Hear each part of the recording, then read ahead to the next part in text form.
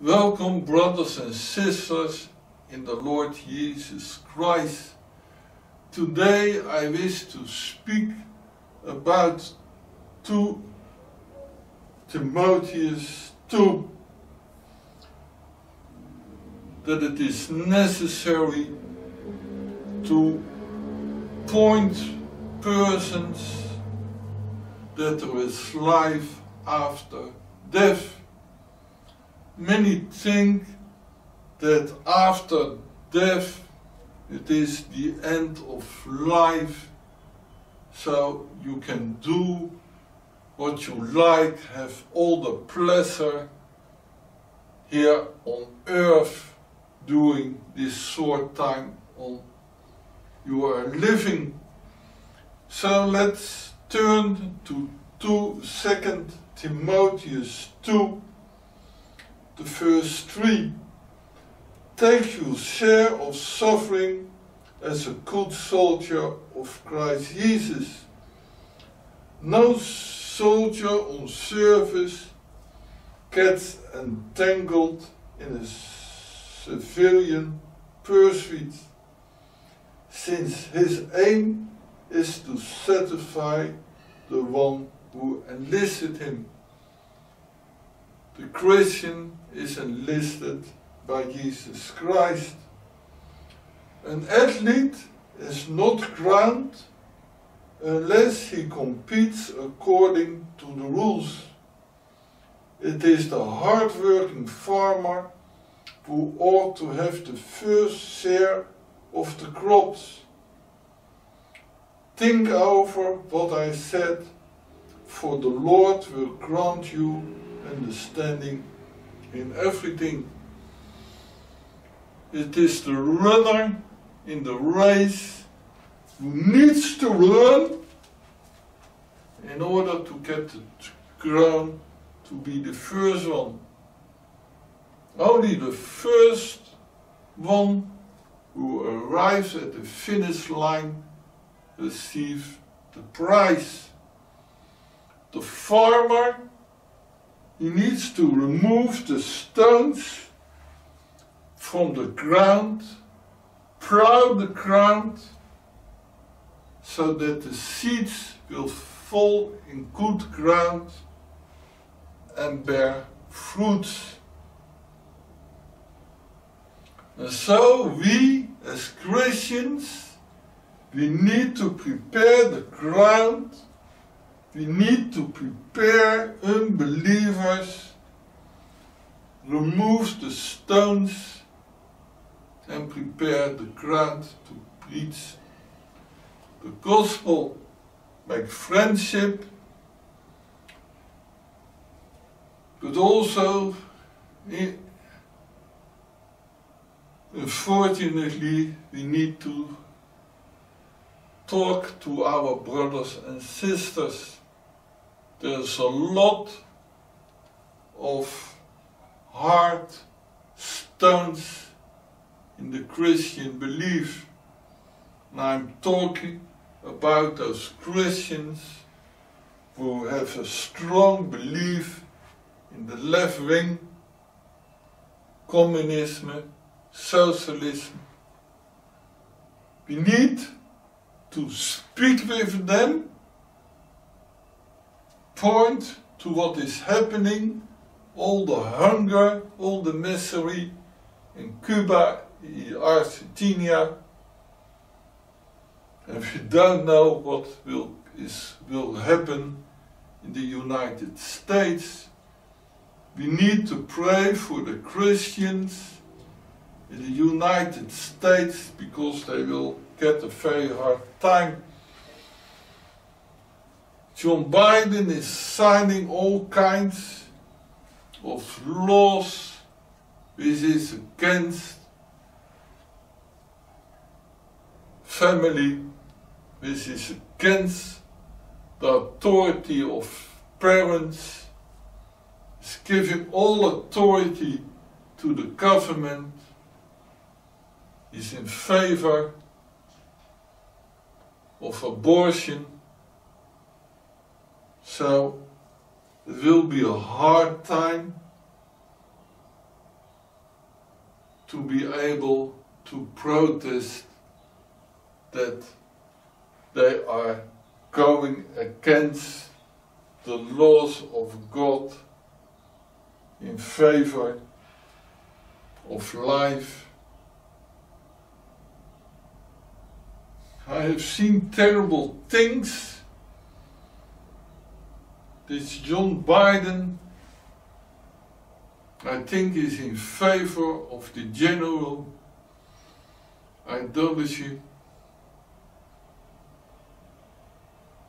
This is removing the signs of women and men on the lavatories, on the toilets.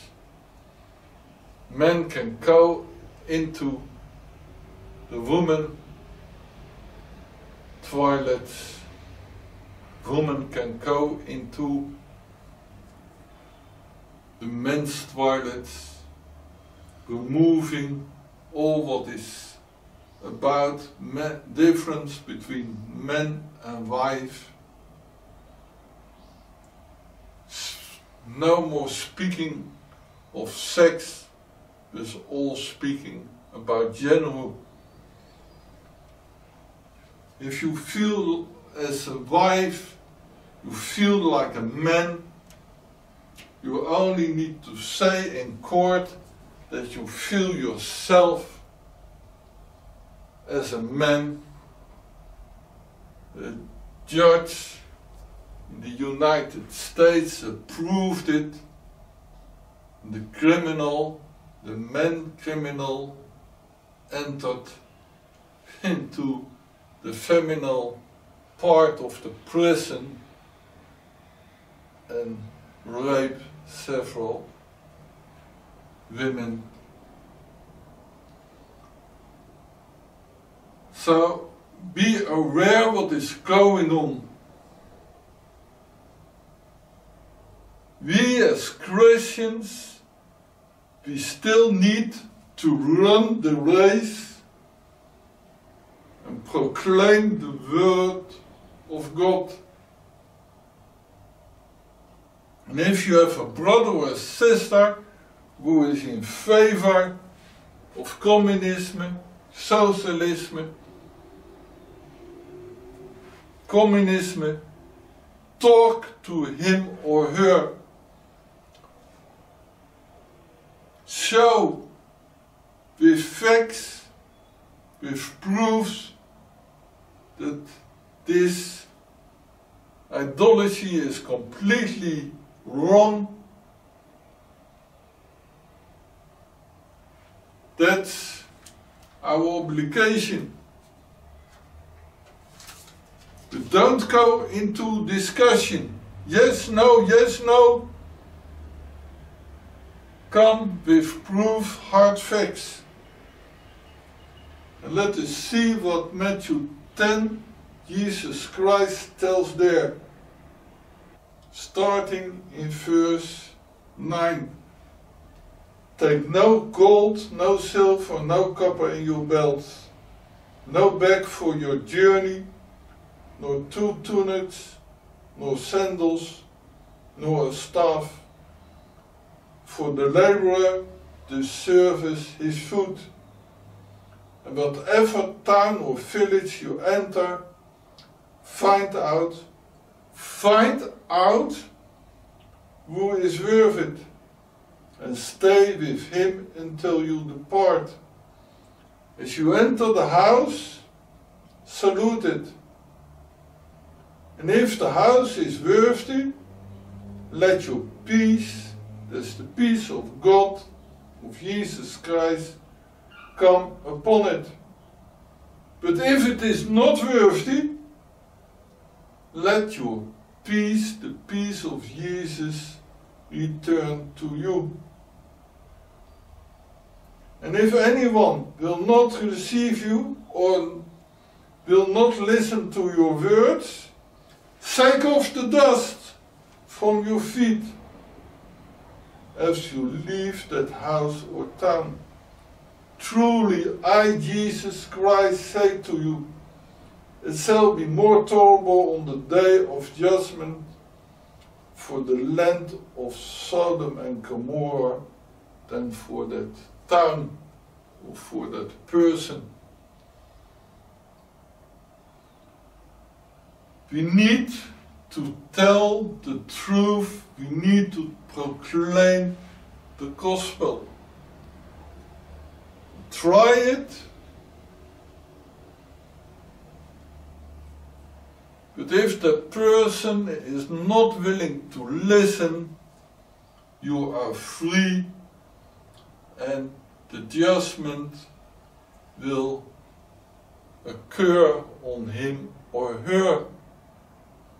We are not, we are obliged to proclaim. We are obliged to proclaim the truth. We need to come with facts. We are not free. But if the person is not willing to listen, it comes down on her or his head.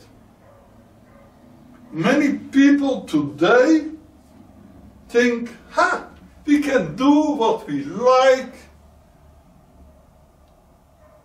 because we need to enjoy life on earth.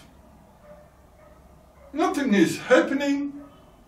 All those presidents, all those judges, all those mayors, may mayors, they do what they like medicals, abortion. Look, nothing is happening to me. I can do what I like. I can be wealthy, I can steal, I can rob persons, I can live for myself. Because that is that.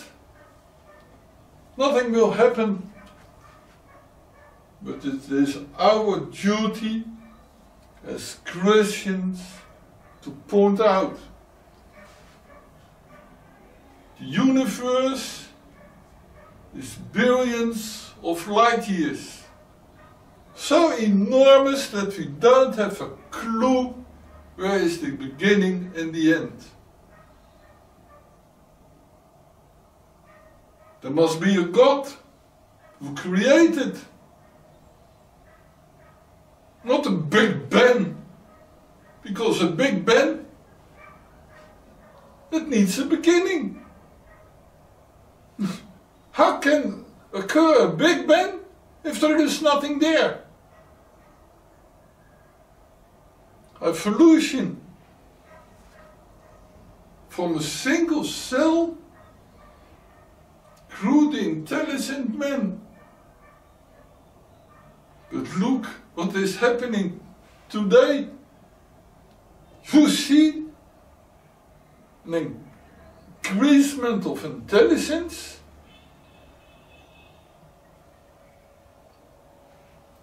People is our destroying earth. At creation, God said to man, you are responsible for the earth and for the animal, animals, for your neighbor. And look the mess people are making. A lot of suffering, a lot of misery, a lot of murder.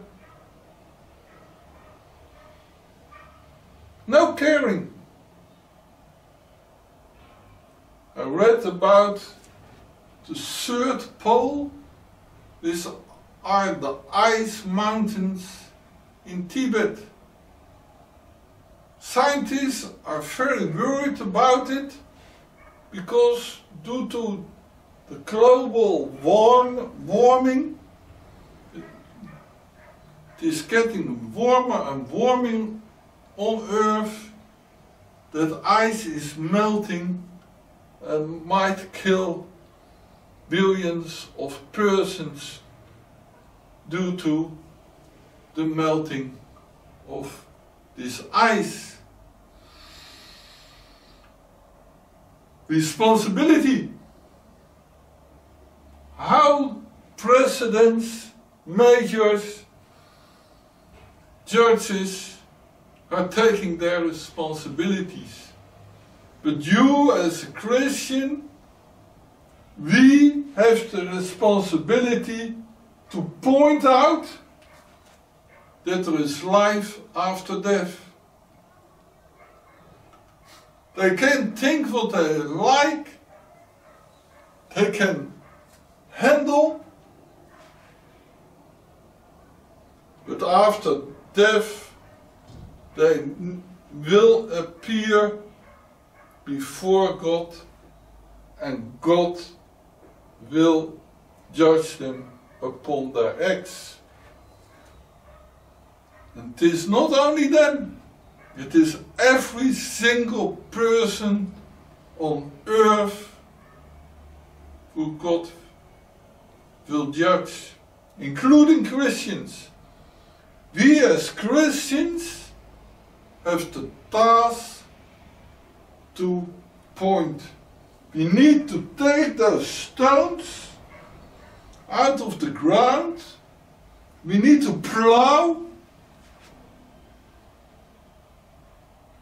Prepare the earth to, for, for the seed so that the seed can grow and the farmer will benefit from the first fruit. And also, the person, the runner on the race, he needs to discipline himself in food, what he drinks. He must have a good balance, strong muscles, in order to be the first one at the finish line to get the crown. Look at Daniel. When Daniel went into captive, when he entered there, he was separated with his three friends, and there was the order to have the food and the wine ordered by Nebuchadnezzar. And Daniel said, No, I'm an Israelite, I'm a Jew, I'm not allowed to take this food and the wine. But the supervisor said, But I have to. It is an order of Nebuchadnezzar. If I do not follow that order, I will be beheaded. And Daniel said, Take a, a proof. Let us eat what we are allowed and drink water for 10 days. And after those 10 days, see how we are doing. And after the 10 days, they were better than the ones who had the food and wine of Nebuchadnezzar. They resisted the evil. They resisted to go against the orders, the laws of God. And now nowadays there is a lot of lawlessness, there's a lot of going on in the United States. All kinds of laws are signed to remove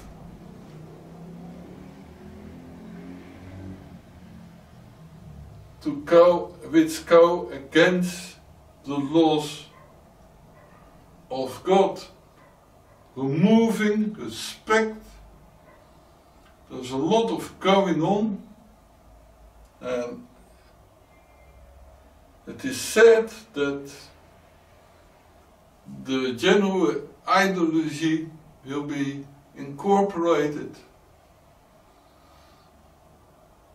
That the, the authority of parents will be removed if they don't agree with what is the government is telling.